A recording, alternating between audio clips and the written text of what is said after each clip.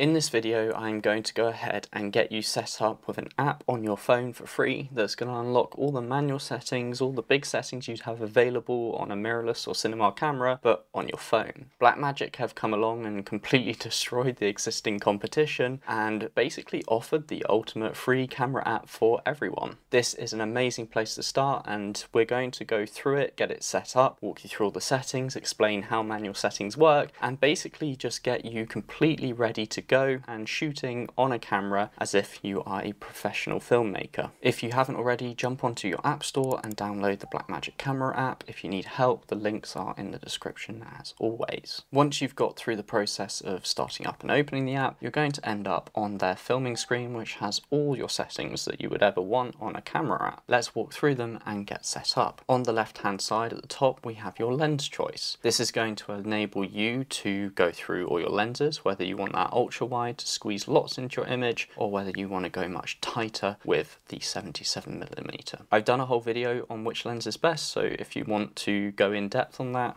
watch the video. We also have our front facing cameras but for now we'll just stay in that 1x so that we can demonstrate the camera and all the settings. Over on your FPS, your frames per second, you can choose how many frames are taken, how many images are taken and squeezed into your video every single second. In 4K on most phones you're going to be able to go up to 60 FPS here. When it comes to choosing your frame rate, you generally want to fall in line with what most professional filmers are going to set up so that if you come across any other cameras and mix the footage up, it's going to be a similar frame rate. In my case, because I'm in the UK, we have 50 Hertz electricity, so we want to look at the PAL format, which is going to be multiples of 25 FPS. So both 50 and 25 will be great options. If you Google your country's electricity rate and it is 60 Hertz, then you want to be shooting on NTSC, which enables you to do these frame rates. The simple reason for this is that it stops lights from flickering in your video due to the electrical refresh rate differing from the refresh rate of your camera. Usually, if you were shooting on a mirrorless camera, or if you have an ND filter, I would recommend shooting at the lower base rate camera setting of 25 in my case, or 24 if you're on NTSC. But because we're on mobile and I don't have an ND filter, we're actually going to pump this up to 50. The reason for this is that if you want slow-mo, then you need to play back your frame rate slower than it is being filmed at, so you need more frames. And then if you're shooting in brighter scenes and don't have an ND filter, which we'll cover in a moment, then your shutter speed will end up being closer to what gives you nice motion blur. You can select your shutter speed by moving over to shutter. Currently this says 180 degrees, but if we go into our settings, we are able to change this. Select camera and then scroll down to shutter speed.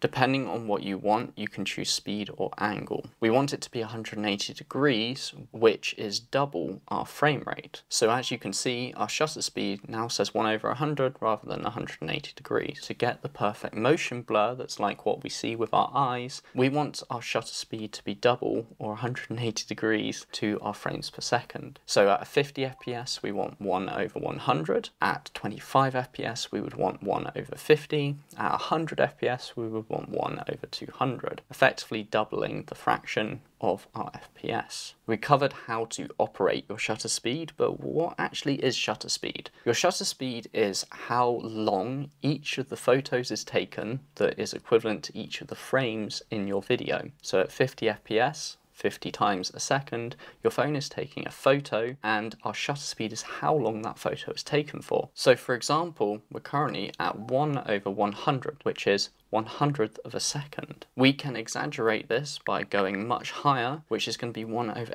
8,000. That means that our photos for each frame are only being taken for an 8,000th of a second. This is what would give you a very choppy image, and also you can see it's made our image much, much darker because we're taking in light for a very short period of time. Coming down to a much lower shutter speed is made our image much brighter and actually overexpose our image. So whilst you can control your exposure with your shutter speed, we don't really want to do that. We want to stick to our 180 degrees or double our FPS, and that's going to give us the most natural professional look. However, if you're forced to, you may have to adjust this to get your exposure right. Next up, we have our aperture, but this is grayed out because you tend to not be able to adjust this on mobile phone cameras. It requires moving parts so they just can't fit into such a small lens and sensor layout. Our aperture is how open our lens is. The more open it is, the more light it lets in, the more closed it is, the less light it lets in. These tend to be fixed at very low apertures because we have tiny sensors that need more light hit them in order to get a good image. Because we can't adjust aperture on phones, I'm going to move on to ISO and not cover it in too much depth. Our ISO is the sensitivity of our sensor, the light that it receives, how sensitive it is to that. So for example, as the lens is receiving the light for the hundredth of a second that our shutter is open, how sensitive is it to that light? By moving this up to a higher number, we make it more sensitive, down to a lower number makes it less sensitive. But there's a couple of issues we have to cover. One is that if our shutter is fixed and we get very bright, then we cannot make our image any darker with the settings available available on our camera. The second is that if our image is very dark, and we move our ISO up to get exposed nicely, we're going to end up with a very grainy image. This is because it's effectively boosting the information coming into the sensor, which can result in errors, so you get that grainy image. So whilst we can control the light hitting our sensor with our ISO, you tend to want to keep it low and you tend to not want to be messing with it too much. Because your aperture is fixed and can't be adjusted to adjust the light coming into your camera, your shutter speed isn't really something you want to mess with if you're really chasing the manual setup. And then your ISO is kind of limited on a phone for how high you can push it, and then obviously it can't go below a certain level. There's only one additional thing we can do to fix the light coming into our sensor, and that's to block it before before it comes in. If I turn these lights around, you'll see they are completely overexposed. They're white, which really isn't ideal if we wanted to show the LEDs inside this. However, we can use something called an ND filter. You can get cases specifically for your phone that have these built in, but for the sake of this little mini example, I'm going to use one that I can move around in front of the phone. You can see that when I put this in front of the phone, it is blocking light coming into the sensor, so it's much darker. I'm going to move this back now so it covers the whole lens. You can see a little bit of reflection in here, and that's just because this isn't close enough and it's not designed for the phone. But a proper case with a proper ND filter for your phone would fix this. You can now see that as I adjust my ND filter, we're going to adjust the amount of light coming through it, which is going to enable me to control what hits my sensor before all these settings come into play, which is really useful. The only downside to this is that you're starting to hit the limits of what a small phone sensor can do in terms of dynamic range, which is the difference between how bright detail it can film and how dark detail it can film without either completely crushing it to black or whiting it out to overexposed. So you can see in this, because we've exposed the LED lights, we can no longer see the drone. All of those things are going to allow you to control your exposure, lock it into what best exposes your environment, and then film without it shifting. The shifting of exposure is what makes your filming look amateur. When it's locked in and controlled, you get a much nicer image and you don't get that shifting. On the note of shifting, there's something else that shifts, which we're moving on to now our white balance. Your camera doesn't actually know what color of light it's seeing. It has to guess, and when you're on auto white balance, it guesses constantly. So it's often not quite perfect and also shifting all the time. Like I mentioned earlier with the exposure, it's that shifting that makes it look like amateur footage versus professional footage where all your settings are locked in and it doesn't shift around as you're filming. In this case, we've got a few cool things going on. First is that we can let the camera do auto and then lock it so it's going to just choose the settings that it thinks are right, and then you lock it so it doesn't shift. But we can also then turn off auto, go straight to manual, and control how we want the color of light to look, with 10,000K being the top limit, very warm, and the bottom limit being 2,500K, or sometimes down to 1,000K, which treats the light in our image to be much bluer. You can see this has gone too blue, and it is not how our image look. If you're really keen, you will know these numbers off by heart, depending on what what lights you're working on, or if you're not colorblind like myself, you can look at your image and get it to a point where you're happy with it. However, there's some presets over on the side that are useful. So when it's sunny, you can just click on sun. When you have filament bulbs, you can select filament, which is going to bring it down to what most of those come out as. When you've got the big strip lights in warehouses and things, it tends to come out about 400k. And then you have shade and cloud, which have their own respective K values that are pretty consistent. And then move my light out the way so we get back to our usual image. And you can see that we're coming out at about 3800 Kelvin. I'm going to lock it so it doesn't shift around. We then have our tint. So where white balance was how warm and red our image looked or how cool and blue our image looked, tint is the greens and the pinks. So unlocking this and then scrolling lower is going to make our image much greener and then scrolling up is going to make our image look much more pink. Again, I'm just going to switch over to auto, let it choose where it wants to be, and then I'm going to lock it. We've now covered all our film settings, so this is completely locked. As we move around, as we change how our image looks, it's not going to change the camera settings at all. This is great because it looks so much better when you cut this all together and it's not doing the shifting. Let's get a different camera view just for a bit of fun because that's going to help us in a minute. You can see our focus is off. We will fix that soon. Over on the right, we then have the ability to choose some overlays. The first is going to be zebras. Zebras are really useful and I like having these on. What they do is provide an overlay for your image when it is above a certain exposure. So to know whether something's completely white out, you set it to 100%. So when I show this light, you can see it's covered in zebras. And then you can actually bring it lower. I like to have it at the lowest setting, which is 75. And the reason for this is the most important thing always when you shoot is your skin tones. You want these to be around 75 to 80%. Just to make the image a bit clearer, I'm going to pop it up to 80. But what this means is that when you're filming someone, they've got zebras on their skin, you need to bring the ISO or turn your ND filter up a little bit just to block a little bit light and get their skin nicely exposed. On that note, we'll jump back to our white balance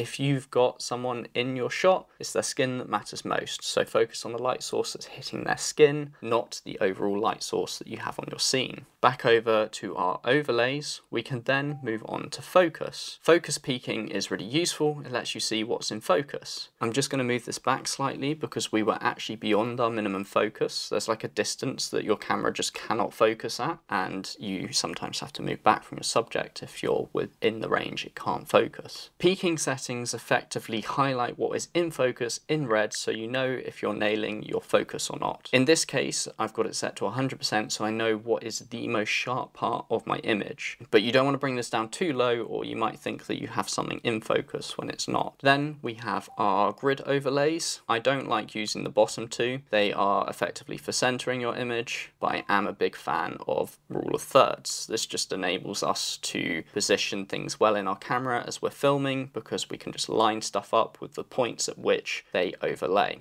So if you have a subject, perhaps you want their face on the top right corner or the top left corner, it just helps you guide how you're framing your subject and keeping them in the same place in your frame as you pan around them. Next, we have another form of overlay, which is effectively if you know that you're going to be outputting in a certain format, then you can turn this on and you can choose what you want to be shooting in. So if you're shooting content that you want to be both vertical and landscape, then you can set up a vertical overlay on this, keep everything within that, and then when you're shooting wide, you have the extra bits that are currently grayed out. When you're shooting vertical, you can cut those off and you have your vertical image. This is what I like to do. But if you were shooting specifically for a really wide aspect ratio, you can put on 2.4 to 1, which is going to squish the top and let you know what will still be in your frame once you cut off the top and the bottom. Kind of a fake way of doing anamorphic cinematic lenses. For the sake of this video, I'm just going to turn that off so there's not too many things going on on the screen. Then we have our safety margins. These are really good if you just want to make sure that you don't accidentally lose framing on your subject. So if we put this down to about 80%, you just make sure that everything you want in frame is inside this box. And then if you accidentally go outside, it's fine because they're still in frame. Again, it's just a little guide to help you film, but as you can see, we've stacked quite a lot of graphics on top of our image, and there is a point where there's just too much information going on, but it's really your own personal preference. Again, for the sake of keeping it somewhat clear, I'm going to turn that off, but I would normally have that on. We then have another overlay, which I don't use so much, which just puts some color on your screen depending on how bright your image is. So you can see that as I move this light, the stuff that goes red is very, very bright. There you go. And the stuff that's dark, so our sound panels at the back here, go very, very blue. And that's just, again, another tool to help you make sure everything is exposed how you want. But as I mentioned, I don't tend to use this. Coming down, we can then put LUTs on top of our image. I'm not going to cover these, but if you are going for a specific look, you can just see how the LUT looks as you film versus finding out later. But I personally wouldn't do this. I would film without the LUTs and then you have maximum control in DaVinci Resolve later on. Next, we have our focus. On a phone, I would generally leave this in auto, but if you do want to lock it, perhaps if you've got something that's a bit awkward for the auto to latch onto or it's just misbehaving, then you can use your focus peaking to see what is in focus and what is out of focus and set it exactly how you want. We then have your metering, so this is when you are using those automatic settings, you have your baseline of zero, which is what it thinks it should be exposed to. But perhaps if you've got a scene that's again being a bit tricky, maybe you've got some windows or some source of lighting that you don't want it to take into account, then you can choose, actually I'd like you to automatically set those settings a bit brighter, or I'd like you to automatically set those settings a bit lower. So you can see when we have the metering selected, it's just automatically changing all the settings to hit the look that we have asked it to do. I'm going to leave that on zero, and again, I don't tend to use this because it's again playing into those auto settings which you could just be filming on your normal camera app. Moving on, we then have how much digital processing is going to happen to stabilize our image. I've actually been very impressed with the testing I've done so far with this on extreme. It doesn't seem to warp the image too much, but as you can see, it's hardly cropping in and leaving it on extreme just means that you know you're going to have relatively stable footage. Like most of these settings, it's personal preference, but that's just what I've decided to do. At the bottom, we then have our zoom for the lens that we're on. So it starts at 3x because this is a 3x 77mm lens, but you can zoom in more. This is a digital zoom, however, which I don't recommend. Digital zooming is where it's just cropping in digitally, it's effectively zooming in on the image you've already got, and it's much more useful to be able to do this in post where you have more control. You're kind of just locking off your options by zooming in on digitally, so I don't use zoom and I don't recommend you use it. Then at the bottom we have some settings that you're probably not going to mess with unless you start getting a bit keen, but this allows you to name your clip, it allows you to select whether it's a good clip or a bad clip, um, along with a few other things. It's effectively adding some metadata to your video so that when you go through in the editing software, you can see, ah, that was the good take, that was the bad take, this is the one I want to use very quickly versus having to watch them all through and work it out again later when you can just name what it is here and now. At the bottom left, you can see that we have a histogram. I actually would prefer it if DaVinci Resolve could throw in a few different graphs here. I much prefer waveforms for seeing what's going on, but it's effectively your video shown in a different format. So all the lines on your waveform line up with what's going on in your image. So this breaks down the color and exposure of your pixels in your image. On the far left, we have the darker parts. On the far right, we have the brighter parts. And then you have the colors split into red, green, and blue. This is another way of seeing the data in your image and just helps you get those manual settings done right. You can see that as I make my image brighter, everything tends to shift over to the right-hand side. And then as I make my image darker, everything shifts over to the left. And you can also see the different light light coming on is affecting how close together those three peaks are of red, green and blue. Because we set our white balance up for this kind of lighting, it's much closer together, i.e. much more white when we have this light on, and when we take it off, blues shift across onto the right hand side being brighter because it's become a much cooler image. Our green is still in the middle, which means our tint is still correct. In the middle, at the bottom, we then have our phone and its record time for the settings that we're filming in and how much space is left. So this is a 256 gig phone, it's got 65 gigs left, which is 27% of the space we have on the overall phone. Over on the far right, we then have our audio settings. The audio settings are something you don't really need to mess with on phone, it's just gonna do them automatically, it's just gonna get them right, and that's really a separate thing to go into once you start plugging in microphones, so I'm not going to cover it in this video. We then have our media tab, which is all the clips that you have shot. Here you can sign into your Blackmagic Cloud. This is really powerful and you can get a whole workflow going where your proxies are automatically uploading to the cloud, allowing other people to edit as you shoot. I'm going to break down this workflow later on, so make sure you subscribe if you want to get my process for that. Coming down, we then have a chat if you are logged into Blackmagic Cloud, where you can talk to people working on your project as they're working on it. And finally, we have our settings down at the bottom. There are a few things that we want to set up here, so we'll just do that quickly now. At the very top, you have your record settings. I recommend leaving this in H256 unless you're really keen, in which case you can choose Apple ProRes. If you do this, then you'll notice that you're limited on your frame rates. It will drop from 60 to 30, for example, in 4K as your maximum frame rate that you can actually film. But you're only going to be using ProRes if you're keen, and if you're keen, you know who you are. Then we have timecode display. This is really useful if you end up with multiple cameras. Highly recommend just setting this to time of day. Then everyone else who has time of day, you'll be able to multicam with if you happen to pull clips off other people's phones or whatever. It's just the easiest one to leave it on, but I believe it comes default as record run, so make sure you update that. Time-lapse recording, you might as well have turned on. That's just another useful setting. And then you do want to get alerted if your media drops frame because you don't want to have footage that slows down effectively because it's missing frames or stutters.